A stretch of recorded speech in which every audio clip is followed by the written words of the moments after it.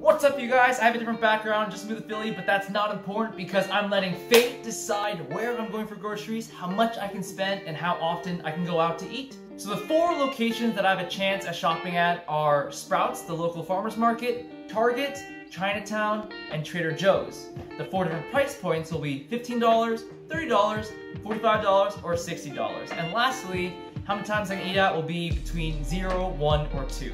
And I have to preface, the times I eat out will not be a part of the budget, but being the frugal guy I am, I'm not going to be spending a crazy amount. It's just to be probably just a meal at a restaurant with a friend. And I also have to mention, I'm only to be doing a work week uh, because here I'm working at home and then I can prepare my meals, but the weekends will be for, you know, going out, seeing friends and stuff, so only for a work week. All right, let's get right into the spinners. So here we have where I'll be shopping, how much money I can spend, and how many times I can eat out. So, let's just get all the wheels spinning and we'll see what happens. All right, the location honestly doesn't really matter too much. Oh, Trader Joe's with a $30 budget, and I can eat out twice this week. So this is my challenge, $30. Not the best, but I think it should be doable. I'm excited, let's go. So Trader Joe's is about a 30 minute walk, but I have a handy dandy skateboard, so it should only take like 10 minutes or so.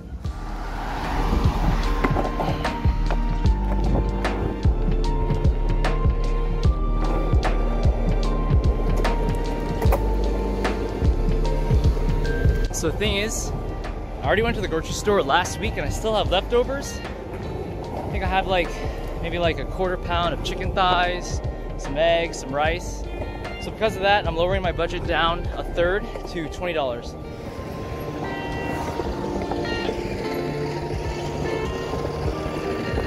I have a really bad habit where I don't really plan this out. Maybe I'll get better at that, but probably not.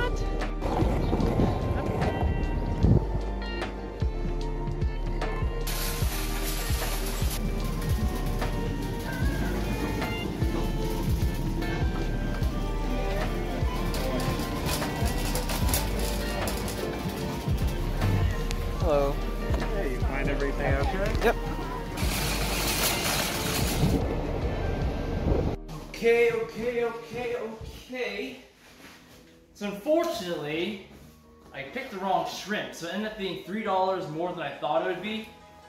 So everything costed $23, but had I chosen the right shrimp, it would have been 20 so I was really close there. But we have the ground beef, we got mushrooms, 99 cent linguine, masala simmer sauce I spent like 20 minutes looking for, two potatoes instead of hash browns, a whole bag of carrots for 89 cents, and the shrimp, I think. Yep, and that's it, the $11 shrimp. So I think firstly, I need to explain what I plan on making. So I want to make some shrimp linguine with the linguine and the shrimp, and obviously I can add in some carrots, some mushrooms. For lunch, I'm going to be using my leftover rice, which is one of the reasons why we took off $10 with the ground beef, with the masala sauce, and again, carrots, mushrooms to make, Don't know, some beef masala rice mixture, something like that.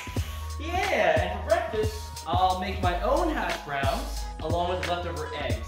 Feel free to pause right here to see the entire breakdown of what I bought from Trader Joe's. And also, I have stuff like lemons, and I have all these, you know, all these spices that once you buy them, you don't need to restock them every time you go to the grocery store. So that's why I'm not going to be counting that. In total, $30 for this week. looking forward to it. I'm really trying stuff new here, you know? Like, I've never made shrimp linguine before.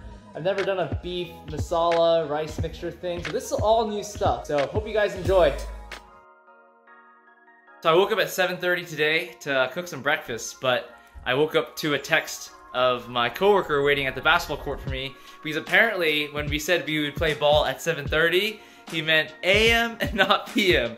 So all that being said, I had a good exercise, but I probably won't be eating breakfast today. All right, it's lunchtime for day two. So I mentioned yesterday that I had enough sandwich materials for two sandwiches, but I actually have a friend who's visiting who can have the other one. You guys recall yesterday, I mistakenly bought the wrong shrimp and ended up paying $3 more. So hopefully this helps to balance everything out. Because this stuff is perishable too, I, I, I want to make sure I use it up first.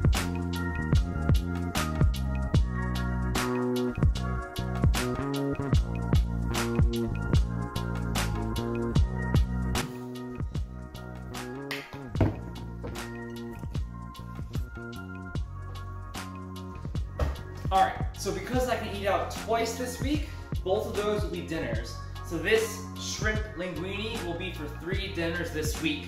What I have going on is this overpriced shrimp that I bought by accident, only of it, but $1 linguine. I'm also gonna be adding in two ingredients, which isn't in the recipe that I was looking at, but mushrooms, which are pretty cheap for like $2, and carrots for 89 cents.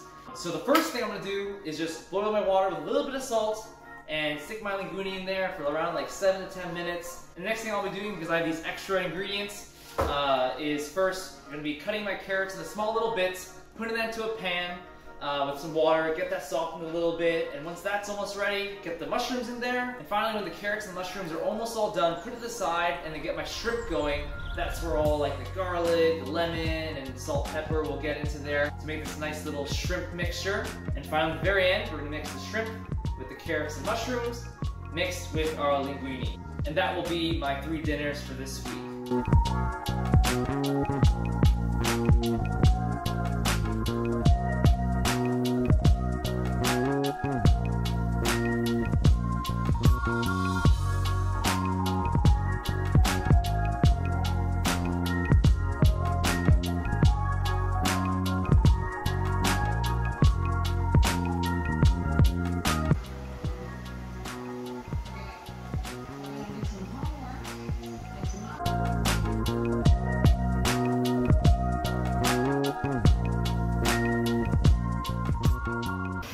So I actually had leftovers for three more dinners. So maybe if I don't have enough for lunch, I can have one for lunch, I guess. Good morning, guys. It's day two. I have time to make breakfast today because my first meeting is not till 10. I bought two potatoes from Trader Joe's. So I'm probably cutting up one of them into small little slices to make like a kind of hash brown slash french fry mix. Uh, and slap one egg in it as well. So that's enough breakfasts for four. So honestly, missing yesterday's was kind of convenient. But again, I don't recommend anyone skipping breakfast. Just missing some bacon, you know? Making lunch now with this masala sauce, carrots, beef. I'm just gonna be cooking rice. Uh, then I'm gonna be doing the carrots and the beef in a separate pot. Pour the masala sauce then mix them together. Should be pretty simple. First thing I have to do is wash the rice and then cook the rice. Slap the beef. Cut the carrots. Cook, season, combine, pour, don't waste. Stir. Simmer on medium heat. Ooh. Ooh.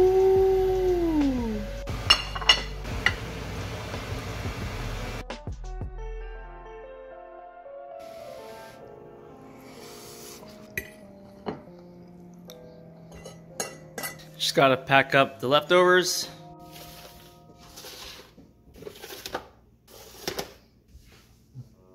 So I'm off to my first meal out. I'm going to a place called Bar Bombón. Um, and it goes without saying, I'm not gonna be like buying three meals and packing any for home. I'm just gonna have one and that'll be it. And I forgot to mention, I'm going with a friend, my friend Solu, not by myself. I don't go to restaurants by myself.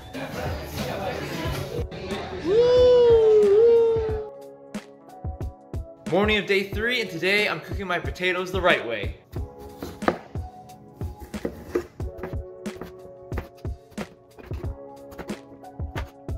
You soak, and we let it sit.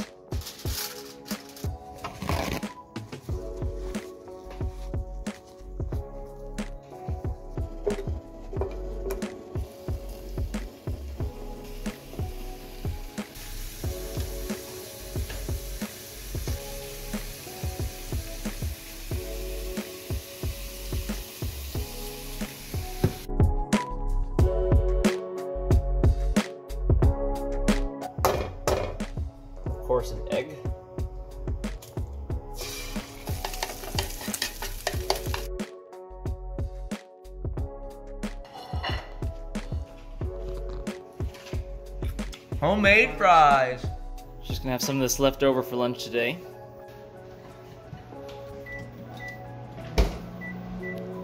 I'm with my friends. Hello. And uh, this is my second meal out, and we're eating at Good Fortune Chinese. I haven't really explored much of this area, but hopefully it tastes good. But I haven't done that. Yeehaw! Wow. This is the first time I'm using this patio. this is the Happy Family. This is the Jumbo shrimp and broccoli. This is a lo mein. That's the fried rice. And then these should be just like regular rice then. Like I hear like if you if, when before you leave or like if you know oh I'm gonna leave at this point just shoot me a text. You don't have to worry about it. Why are you laughing at me? Good morning. It's now day four. Good morning. It's now day four. I think for the last two breakfasts, I'm gonna be baking my potatoes instead of frying them in deep oil, which is obviously not as healthy. But yeah, I looked online, saw some pretty good recipes for some roasted potatoes. So it's gonna be pretty simple. I'm just gonna cut up my potato into one inch chunks. Then I'm gonna stick them in the oven for 425 degrees for 25 minutes. And uh, you know, put some oil and seasoning and that should be it.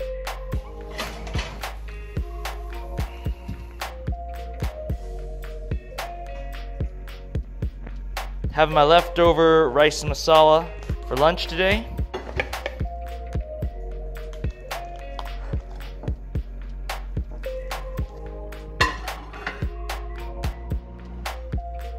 Fourth dinner. Reward for a free any size fountain drink from Wawa, so I'm headed there right now.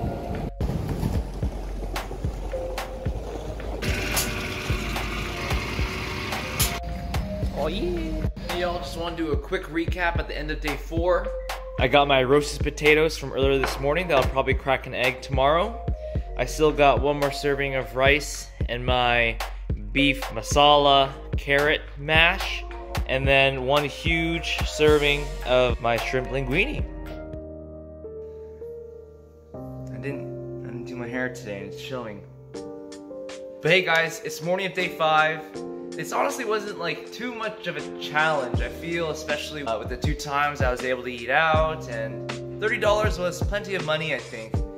Um, yeah, but I'm gonna be finishing this off with my breakfast of roasted potatoes, and I'm gonna cook an egg on the side as well. Microwave.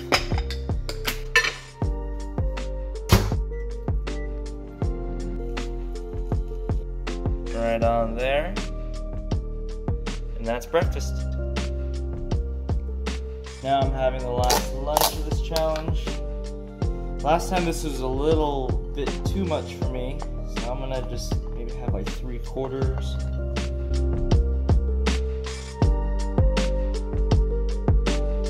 Just came from basketball lifting and shopping and I'm ready to down the last of my lunch right here. And finally, the last meal of this challenge my last portion of my shrimp linguine. So overall, this challenge wasn't too overly difficult. I think $30, I mean, especially compared to 10, is a lot easier to handle. Yeah, I think I've also been cutting a little bit, so I haven't been eating as much to begin with, so it made this challenge a lot easier. But I thought I'd just have a little bit of fun, letting fate decide exactly where I'll be shopping for my groceries this week.